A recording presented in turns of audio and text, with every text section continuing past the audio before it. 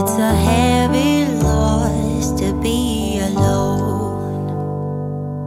Now I finally think I found someone to guide.